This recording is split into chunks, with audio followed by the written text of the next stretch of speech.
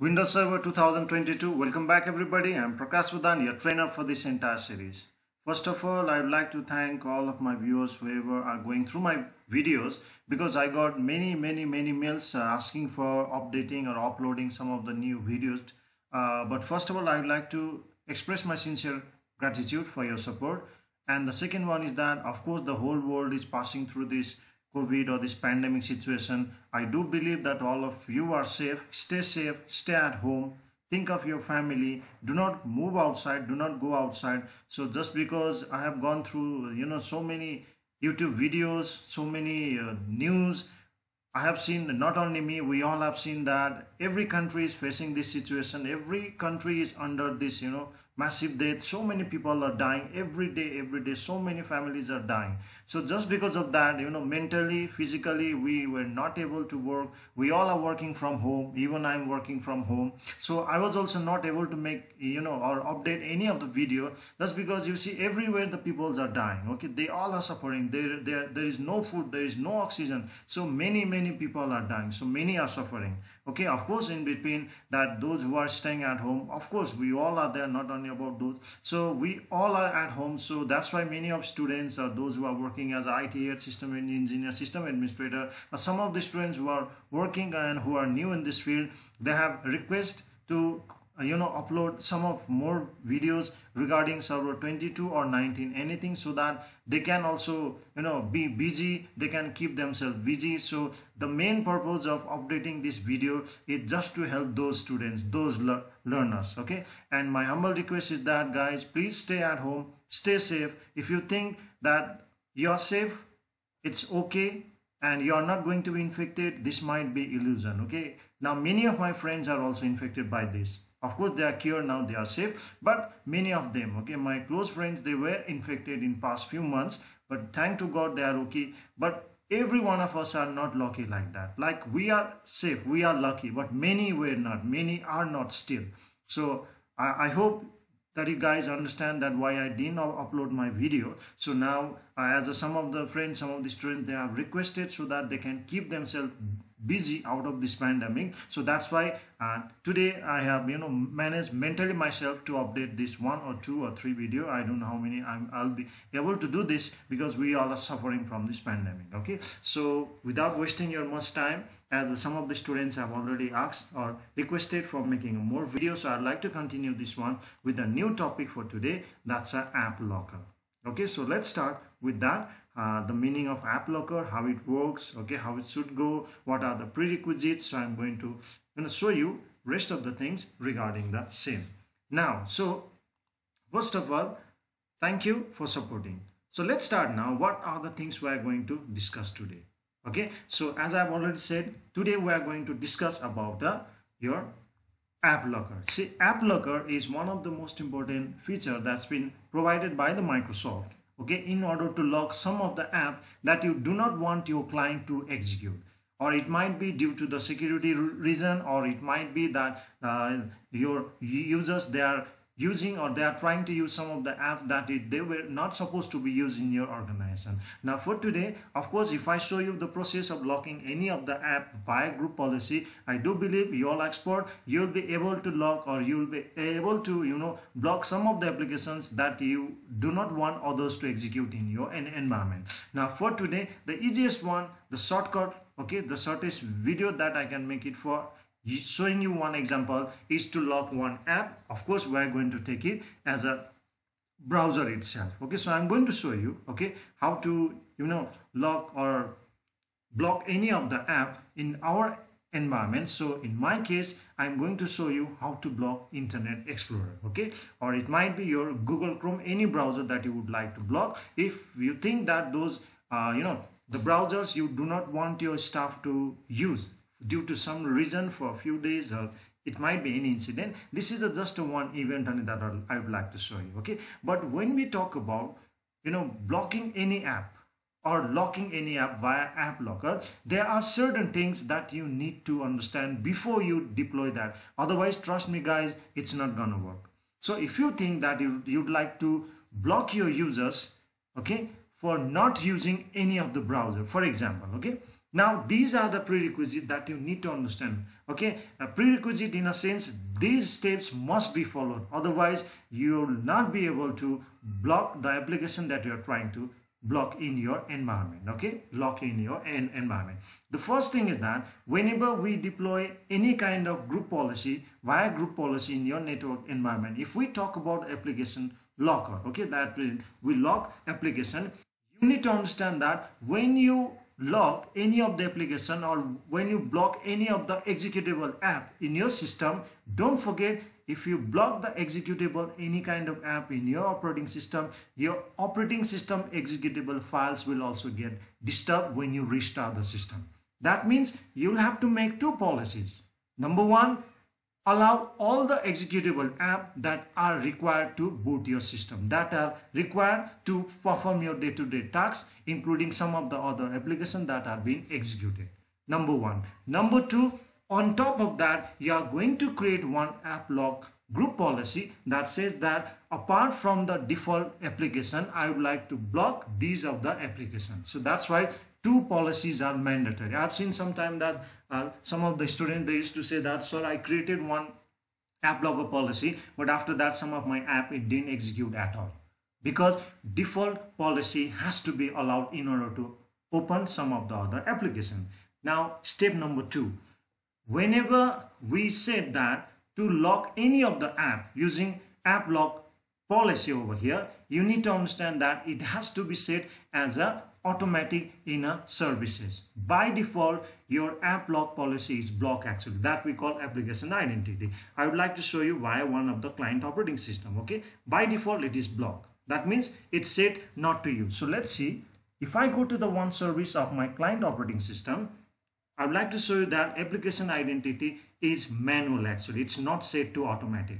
Okay, so it has to be set automatic. Of course, we are not going to do this via client. There is an option in a group policy itself via server. But I'd like to show you that sometime if you forget to set application identity a service to be automatic in your domain main group policy through which you are going to deploy, in that case, it will not work. That means over here, application identity this application identity it has to be your automatic actually here it has to be automatic. Don't forget this. Okay? Now since we are going to deploy via group policy so this policy is going to be override via our group policy. And the next requirement that i was talking about this policy we are going to deploy in the computer. This is not user configuration. This is a computer configuration. So what we're going to do we are going to create one group. In that group we are going to drag it all the computers on which you'd like to lock or block some of the app. And on that group only we are going to deploy this policy so that rest of the you know group or rest of the computer do not get disturbed. So let's go to the server 2022 now, this is my server 2022. Okay. Now, let's go to the group policy over here.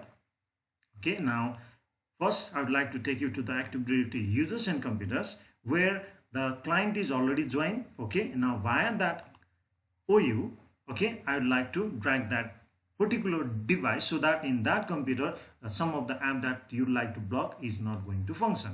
So let's say over here there is a one computer domain join. I would like to deploy this policy to this computer. So this computer i'm going to drag it into one ou okay? So that we deploy this policy into this OU and that computer will get effect by that policy okay? User has nothing to do with this okay? It is computer based configuration. So that's why I have moved over here. Okay? Now first work is done. Okay? Now we'll be going to the group policy. Of course we'll have to create our own group policy in order to lock some of the app. Okay? So there are some steps that I need to show you step by step. Okay? So let's go to the group policy management. Of course I do believe that you still remember though it's been many days or might be a month since I have not updated a video and the reason is already mentioned to you all. So let's create our own group policy okay, so that we can link it later on. Okay, so I'd like to create one group policy over here and give a name, let's say app lock. Okay, for example, you can have any name, you can give any name you want. Okay, so let's say now first we'd like to edit this policy and as I told you this app locker policy is not configured to the user, it's configured to the device basis. That means computer configuration. So we'll be going to the policy. I do believe we all know that. Then go to the Windows setting, please note down the steps okay go to the windows setting since i've opened so many app it might be slow a bit now then go to security setting over there you'll be getting an option okay here software restriction. Sorry it's inside a application control policy. It's not there. So inside application control policy you'll be finding app locker. Now the first thing that you need to understand is that if I straight away for example if I straight away from here see there are three rules basically. Executable rule installer rule script rule let's start with this executable rule only okay? Now if I right click and create a new rule as I told you you will not be able to execute some of the app because that is the default app that's been running currently in your system. This policy will be deployed to those computers also. So that's why first thing okay? First thing what you need to do you'll have to create a default rule. See i i was talking about the rules that has to be allowed in a computer system so that it does not affect your system. So these are the default rule that will help you to run your current executable files. On top of this only we are going to create a new rule. But before that there is one more thing guys. You'll have to see this configure rule enforcement. Remember application identity that is enforced from here. See here. Audit only or enforce rule. If i do this enforce rule to executable since we are going to deploy this for the executable rule then only the client's application identity will be override by this policy. That means if you forget to do this, your policy will not be deployed. Okay. Now, after having this default policy being accepted in the system, that means we created the default rule so that your currently running application will not get stopped in a client machine. Now then we'll be able to create a new rule. Okay. Now, of course, it's a new rule. So let's go for the next. Now, what do you want this to take action? allow or deny? Obviously we're trying to lock some of the app for the instance. So whom do you want to block this? Everyone since we're in a lab environment okay? Now we'd like to go for the publisher wise path wise or file hash the best way for a lab environment is a path wise okay? Let's go to path. Now in the path also you're having two options. Number one you browse that particular app having the executable file. That means exe might be internet explorer.exe firefox.exe okay? These are the options. Like say see over here. Internet explorer iexplorer.exe is here. Okay? Now you can select this also but there is option to select a full folder also because apart from iexplorer.exe there might be other file that helps to hit this event and execute this your internet explorer. This is for instead for example i have chosen you can block any of the app okay uh, but I do not suggest you to block this Internet Explorer actually but this is for instance I'm showing. Of course in some sometime what happens that you might be used to with the using Google Chrome Opera mini or other and you thought that in Internet Explorer it should be blocked because you like to follow the same protocol. That means it's a one set okay? That everyone uses the same browser in your network environment. In that case you can block this okay? Now the next one as i was saying that this is for selecting one particular executable file what if there might be more executable files within that folder? So that folder is going to execute now. That file is going to run still. So in that case, you select the browse folder.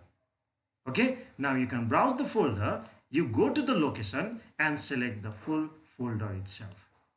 Here, Internet Explorer, I'm going to select the full folder. Whatever executable files are here inside this folder is not going to execute now. So go to the next now, if you'd like to go for any exception, apart from that, you know, the folder that you have selected, in that case, you can add it. But as I told you, we're in lab environment. We don't want to do this. Okay. Next. After that, it's saying the name. If you'd like to give any description, you can give for the description also. Create it and that's done. See, it is blocked to the everyone. Then what is block over here? Internet Explorer. Path, you see. Clear cut picture is over here.